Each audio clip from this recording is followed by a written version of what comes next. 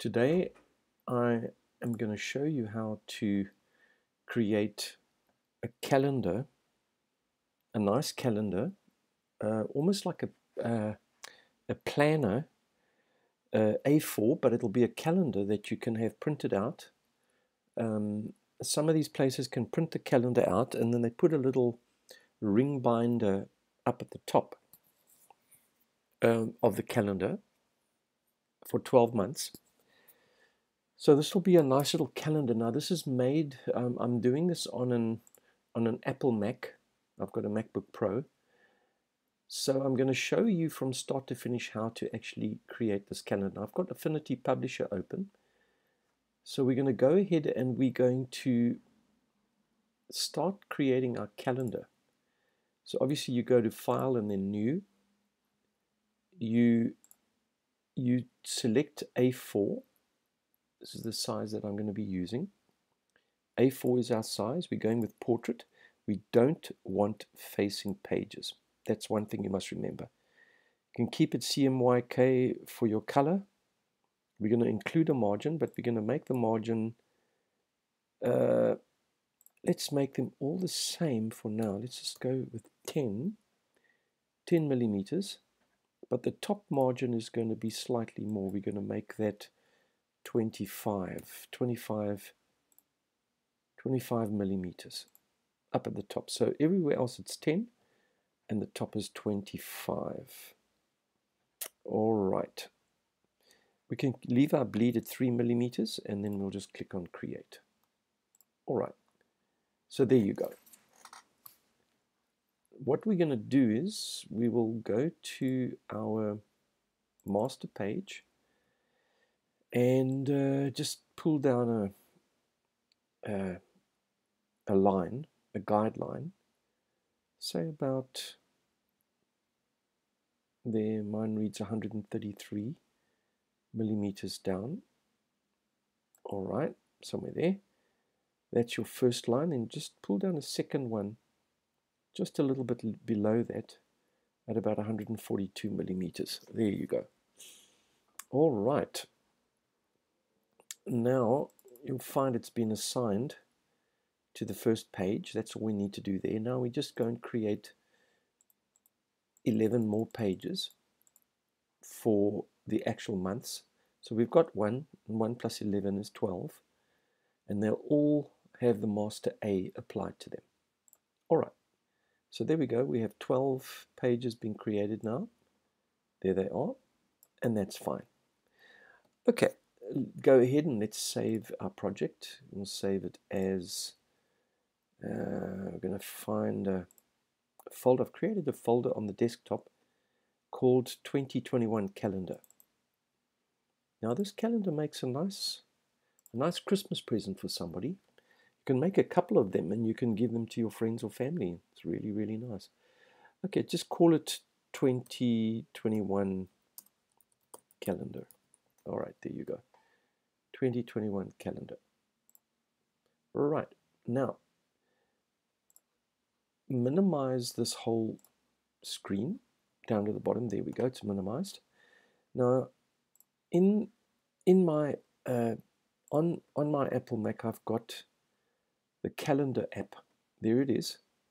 I don't know if there's one on, on Windows, there must be something.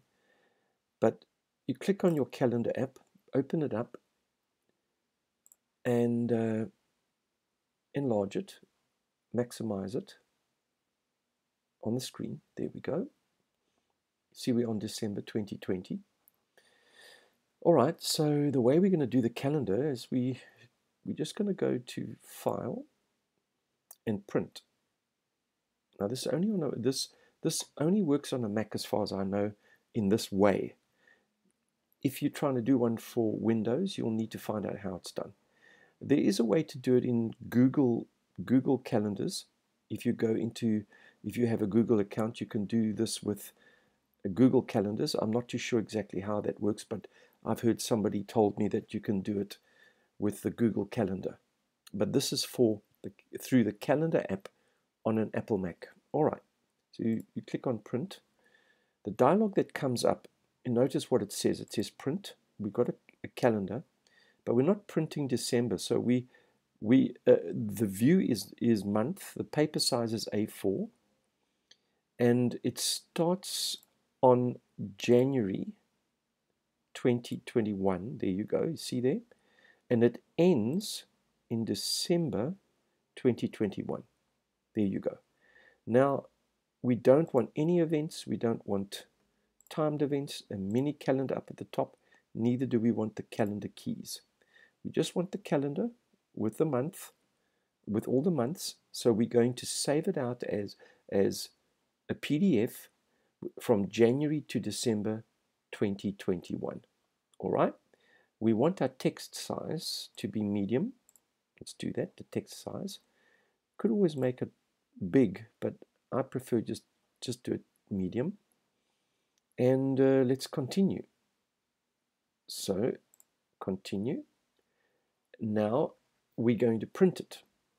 Uh, notice at the bottom here, it says no, well, firstly it says no printer selected.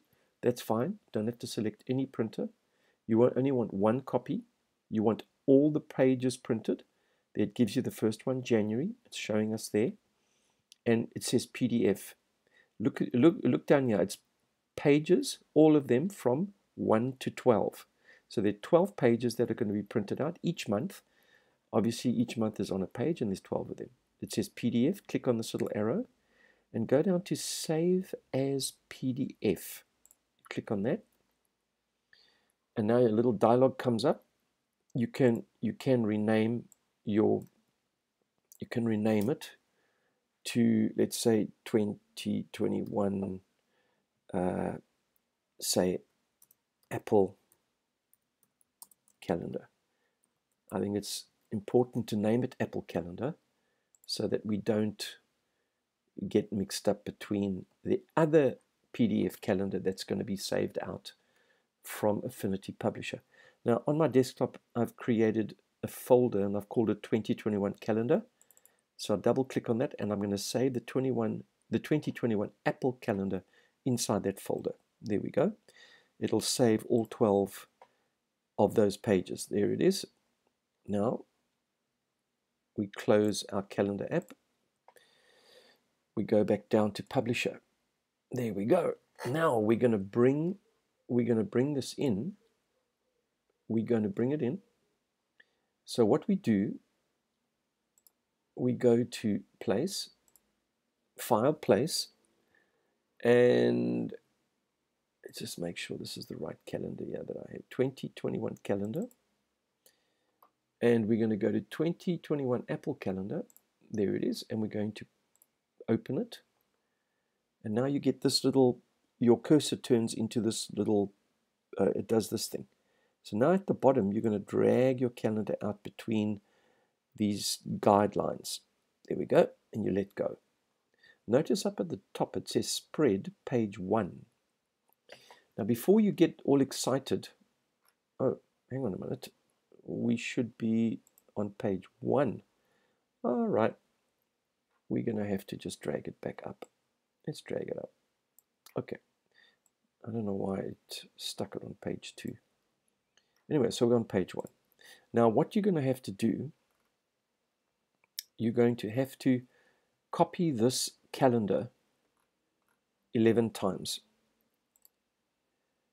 So what we're going to do, we're going to copy and then we're going to paste.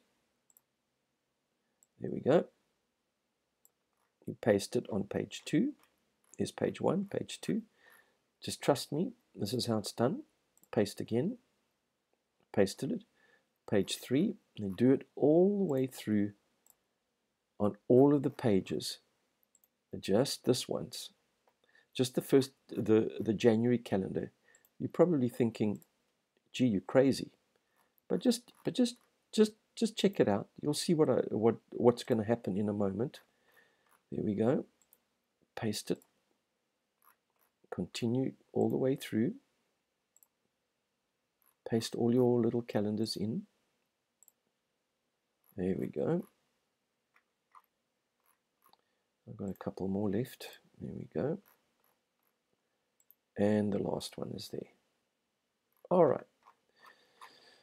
Okay, Now, January is in place, but we're going to go and we're going to click on the second page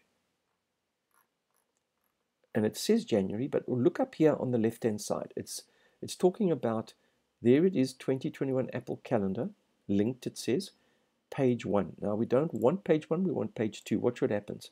There it becomes February. Go down to the next one, click on that one. Now we want page 3. There it is March. March appears. Now we go down to January, down on page 4. We're going to be putting in page 4 you notice this one will be page 5 just keep on going all the way through page 6 is the next one page 7 comes after that of course you just select it you go down to page 8 there we go that's August page 9 is September there we go Page 10 will be October, of course. There we go. Page 11 will be November, 11th month. And the last one will be page 12. Now, I don't know why Affinity Publisher does it this way. I would, I would prefer some kind of shortcut to cut through all this nonsense. anyway, now Next thing we do, we're going to select our picture frame rectangle tool. There it is. Drag out picture frame and place it just above the calendar. All right, now what you can do, you're going to copy that and guess, guess what you're going to do. You're going to paste it in above again. You do the copy and paste thing on each page this is just to just to make your your uh, your life a little bit easier and quicker. Here we go. There we go. We paste again. This is going to require some some memory on whatever machine you you're using, what whatever computer you're using. You would I think you require quite a bit of RAM to do this because it's copying and pasting and there's a whole bunch of things that are going on. Now I suggest we've we've saved this, but we've got to we've got to save it again. So just go con, uh, Command or Control S to save it again, just to save our project. See, it's it's saved. It's all grayed out there. All right. Now we're back at January now we're going to click on, now you're probably thinking you could have done this on the master page. Yes, we could have. But don't worry, let's just, um, we could have saved more time and created uh, a, a, rectangular, a rectangular picture frame on the master page.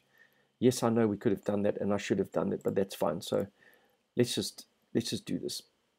All right, so now we're going to go to our stock images and I'm going to look for on Pixabay I like Pixabay very much I'm a member there as well anyway and I'm going to look for boats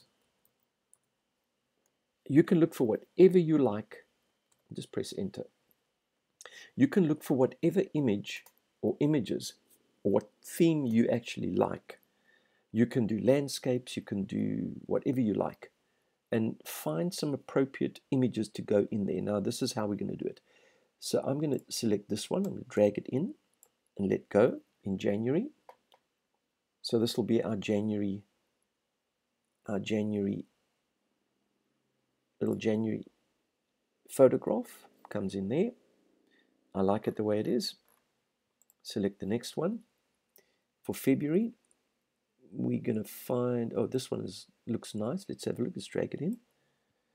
There we go. Let's have a look and see what that one looks like. Hmm, that's pretty good. Uh, the next one, this will be March. Find another boat. Another, oh, this one looks good. Let's drag it in. Let go. I like the way it places it in that little rectangle, so that'll be okay. There we go, that looks pretty nice. I want a nice sort of a summery one with a little bit of uh, tropical island type of image. Where are we? But anyway, maybe I'll find one a little later on. I like I like this one. Let's let's see what this one looks like in April. That's pretty good. Come on. There we go. That's April. There's there's March. There's April. That that looks quite nice. That's a shipwreck. a boat wreck. Anyway, let's go down. Have a look here. Uh, ooh, here's a nice tropical island one that I, I was thinking about. There we go. Drag it in, let it go. See what happens. Let's see. Oh yeah, that looks nice. That's very good. That's very good. All right, so we've got April, we've got May, we need June. We need June. Let's keep on going down. We need June. Where uh, let's have a look here. Oh, this this one looks interesting. Let's have a look and see what that one looks like. You can you can choose whichever whichever set of images. Oh yeah, that looks pretty nice. Whichever set of images suits you. Remember, this is just for your for your friends and family for Christmas. You know. Uh, let's see. Is oh uh, no, I'm not going to get Venice there. I don't think so. Let's try this one. This looks interesting. Let's drop it in there. Another another boat image. Oh, he's on the boat. It's more a guy on the boat. Anyway, that's all right. Let's go to the next one. Scroll down a little more. See if we can find something else. Uh, let me see. Let's see. Let's see. Let's see. Let's see. Uh, oh yes, he has another tropical one. Let's drop it in. Let's see what that one looks like. Let's see what that looks like. We're in August now. Oh yeah, also quite nice. September. September, September, September. This one looks interesting. Let's see what, what that's all about. Drag and drop it in. This is an amazing thing about Affinity Publisher. Oh yeah, that looks nice. Uh, let's go bit further down. Let's see if there's anything else here that's interesting. Uh, actually, this one looks nice. Right, let's go down to October. Let's drag one with the speedboats. Let's. That looks interesting. That's interesting. Speedboats. Yeah. Okay. That's all right. I might change it later. I don't know. Let's have a look. Let's see what else there is. Oh, this one looks interesting. Let's drag that one in. That's November. And then after that, we only got one left.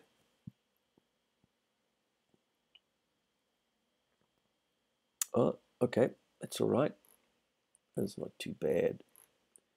Oh, there's a lot of other images, but I'm just I'm just going through this as quickly as I can just so that I can show you.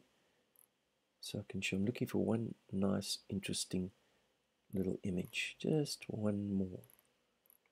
I want to end it off with a really, really nice, a nice, interesting, oh, that looks interesting. Yep. Now this will be for December. Take this one and we drag and drop it right there. Oh yeah, that really looks nice. All right. So if you scroll through your document, you will notice you have your images above your your uh, your little calendar, and there you go.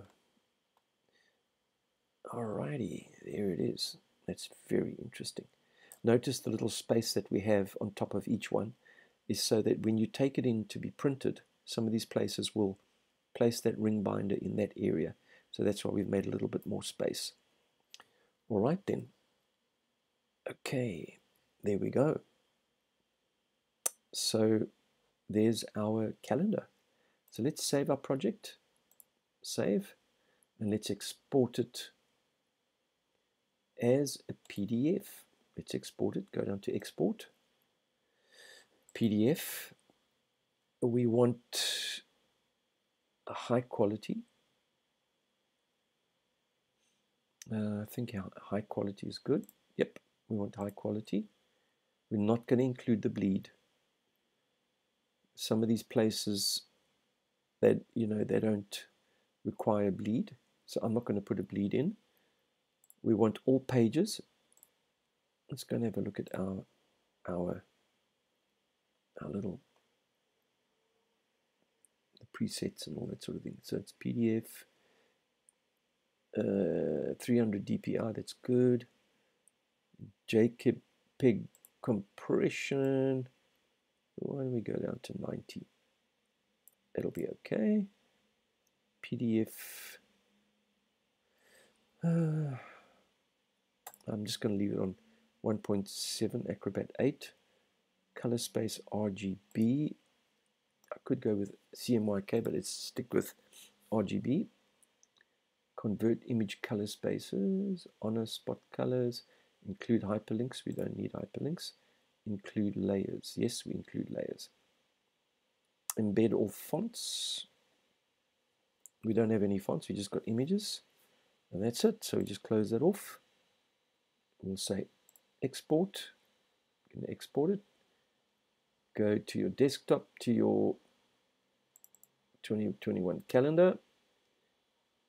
Uh, you're to, let's have a look here. What have we named this? The other one was Apple Calendar. Remember 2021 Apple Calendar. We're not going to be using the Apple Calendar. We only use the calendar to bring it into Affinity Publisher. So we're going to stay with the 2021 calendar PDF. So we'll just in, in that folder, we'll say save. Now it'll save it out. It's, it's exporting the calendar out of Publisher, and we're going to go and have a look at it in Adobe Reader. So just waiting to do this export. It's quite quite a large, it's quite a big um, file to export. There's a lot of stuff there. Here's our, it's pretty good. It's, uh, there we go. We'll just fit it on the page. Here's our calendar, January,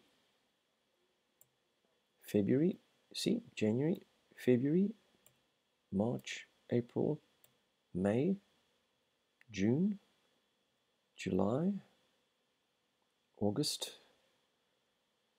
now remember September, October, November, December. Remember, this is A4. Each page is A4. So it's quite a nice little size and you can use it as a planner and that sort of thing. All right, there you go. There is your calendar. Now you can take this to any print shop that does printing and hopefully they also do uh, the ring binder thingy. And so uh, that's it. And you can give this as gifts to your friends and family. Okay, then, here you go.